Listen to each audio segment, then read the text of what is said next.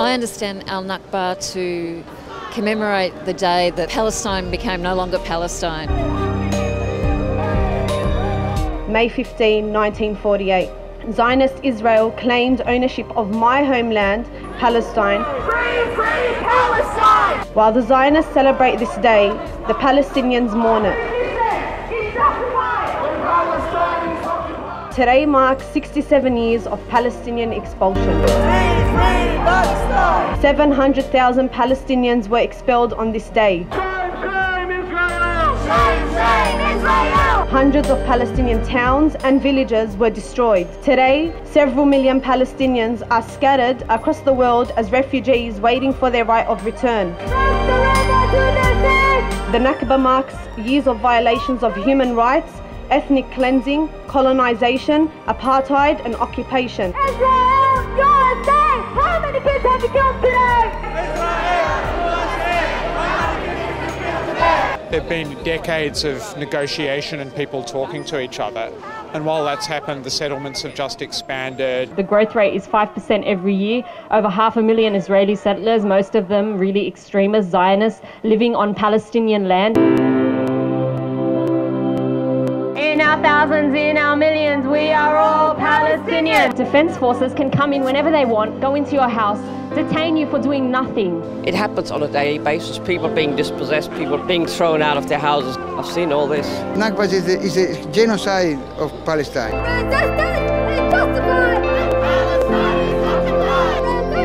Well, Australia is contributing to maintaining the conflict. It's on the extreme fringe of world opinion, obviously, in that it sides with Israel in international bodies like the UN. I guess the comments by Foreign Minister Julie Bishop and the lack of I guess awareness on international law is simply appalling from someone in her position. The foreign minister's demanding of an Israeli journalist which bit of international law is it that makes the settlements illegal?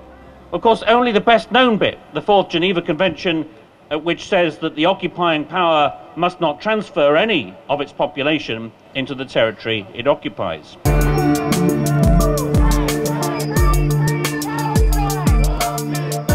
I think it would be the role of the Australian society to stand up against oppression. And I see if enough Australians come and stand up to this, that we could actually force it upon our governments to act. To the Palestinians, keep your fight up, the liberation of your lands and your people. Never ever give in to those that want to oppress you and keep you down. Free, free Palestine! Free, free Palestine! They need to find a way of agreeing with each other, Israel and Palestine, of living together side by side. Israel cannot stop is the spirit of struggle of the Palestinian people. Free, free Palestine! They don't get to take our lands and move their people into our lands and keep assuming that that's right for them. It's not. And we're not going to give up the fight, even if it takes 67 years, 150 years, no matter how long. We keep marching, okay? And nothing is going to stop us marching. And they can keep moving in their populations, but we're going to keep resisting. And every year we're going to stand here and we're going to tell you that Israel, what you're doing is wrong. Morally, legally, it's wrong. And we're not going to give up the fight for Palestinians.